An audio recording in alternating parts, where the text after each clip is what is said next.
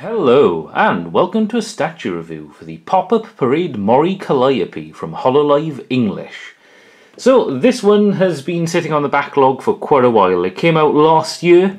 Um, I think most of the Myth Girls are out now, for those of you not quite in the know. That is the first generation of Hololive English girls.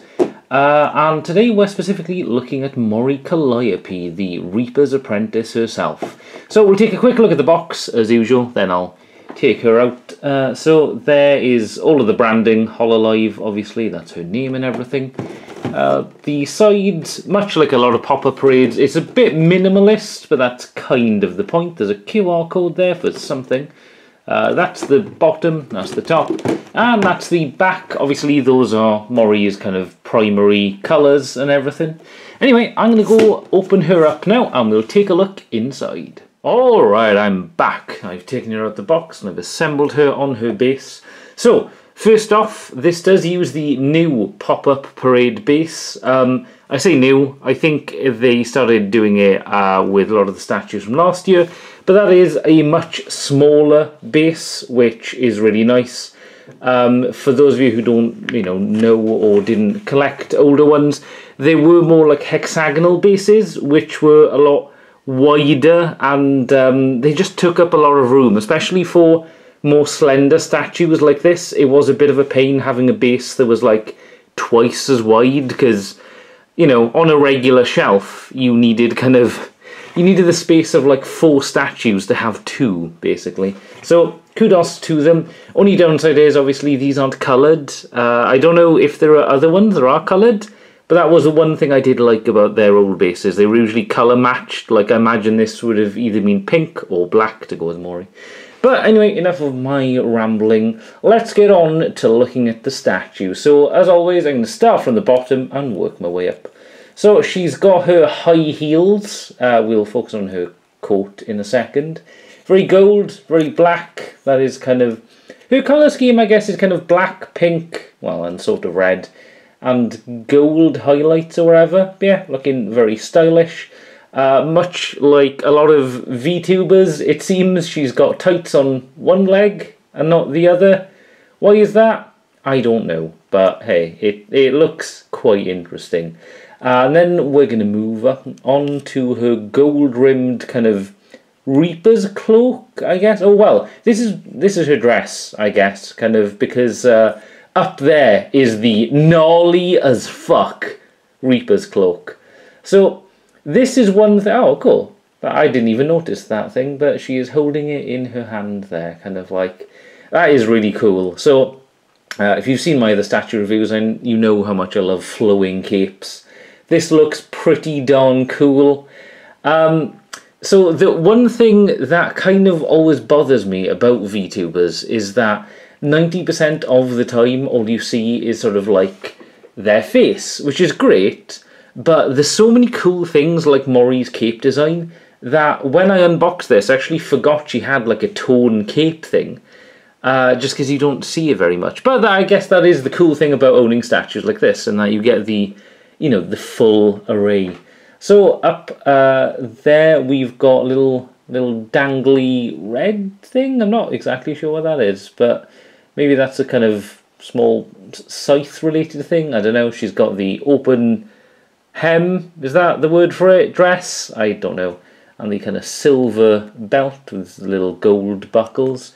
Does go around the back, but obviously it is blocked off by her uh, by her cape and stuff. And we've got the kind of midsection, uh, and they have modelled Mori pretty accurately there. Uh, in terms of the gold buttons, is what I mean.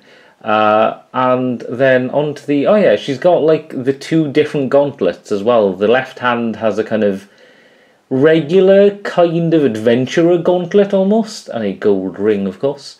And then her right, she has this kind of translucent sleeve, which I really dig. It's got it's almost got like an ice texture to it. Obviously, um, it's just because that's how plastic works out, but it's almost reflective enough that it kind of looks icy. Uh, which I guess is kind of fitting. She's, you know, the Grim Reaper's apprentice. Got lots of gold bands and stuff. And then round the back is the other thing I always kind of forget about Mori is that she wears a veil.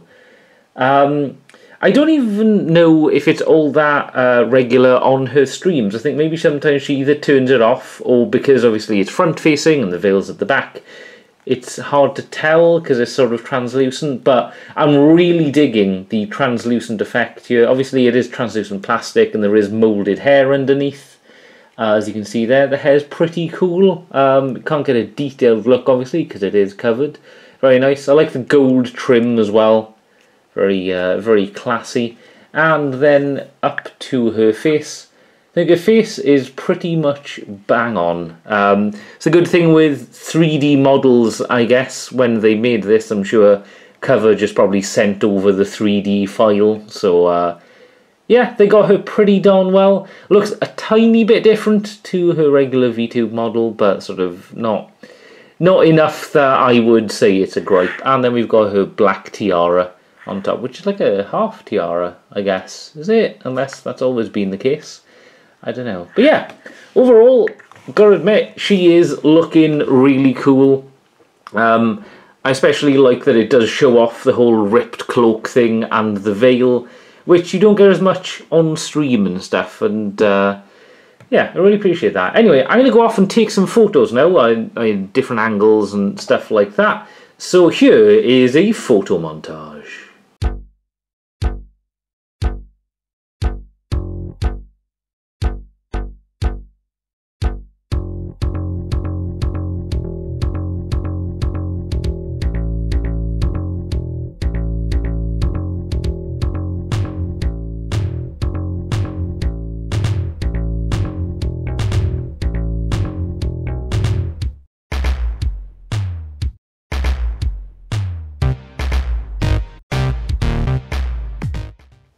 Alright, I am back. So I've taken some photos. I think they turned out pretty well.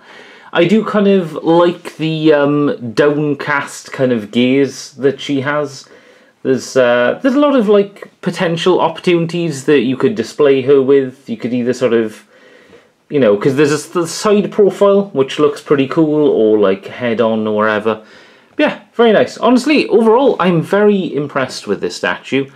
Obviously, if you're a Mori Calliope fan, I imagine by now you probably own this, or it's incredibly difficult to get hold of. It's, it's usually one or the other with these things, unfortunately. I did pre-order this, I've just only now got around to reviewing it, really. But this, of course, will be going on my HoloLive shelf, along with my Korone and my Okayu pop-up parades. Uh, I do have one more pop-up parade actually to review, which should be coming out soon. Um, I don't know when, but keep an eye out for that. But uh, I will let you get on with it. Thank you guys very much for watching this review. Let me know in the comments actually if you own this or any of the other Myth pop-up parades. I'm definitely going to be getting Ina because, as you guys know, I'm a big Takodachi. Um, yeah, thanks very much for watching, and I'll see you in the next HoloLive Myth Pop-Up Parade video, which will be out soon. And until then, goodbye.